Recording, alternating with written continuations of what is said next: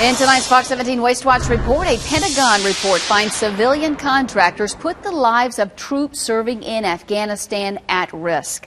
An internal watchdog found poor management of construction projects by the Air Force compromised safety for military personnel. Contractors were paid nearly $40 million for construction and electrical work at Camps Leatherneck and Bastion.